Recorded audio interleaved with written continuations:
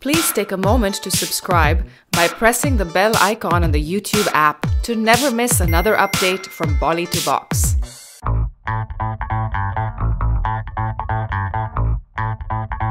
सलमान खान की ई e 2019 release Bharat को बेशुमार सफलता मिली है, मगर ये पूरा सफ़र उनके लिए इतना आसान नहीं रहा। इतनी मुश्किल फ़िल्म और इतने लेयर्ड कैरेक्टर को सलमान खान ने बखूबी निभाया है। और सिर्फ़ शूटिंग में ही नहीं, बल्कि उन्होंने तो प्रमोशंस में भी दिल जान लगा दी थी। फ़िल्म के प्रमोशंस के दौरान सलमान खान और कटरीना कैफ ने कई इंटरव्यूज़ दिए, और इन इंटरव्यूज़ से फ़िल्म को काफ़ी पब्लिसिटी भी मिली, जिसके चलते सलमान खान ने ट्विटर पर सभी जर्नलिस्ट का शुक्रिया अदा किया, जिन्होंने उनका इंटरव्यू लिया था। सलमान खान ने अपने ट्वीट में लिखा to all the journalist who have interviewed me during Bharat a big thank you to all well failure के लिए तो सभी दूसरों पर इल्ज़ाम लगाते हैं, मगर सक्सेस के बाद अक्सर लोग अपने सपोर्टर्स को भूल जाते हैं। मगर सलमान खान ने ऐसा बिल्कुल नहीं किया। और इस मूव से हम सबको एक बार फिर पता चल गया कि वही है बॉलीवुड के असली सुल्तान, है ना?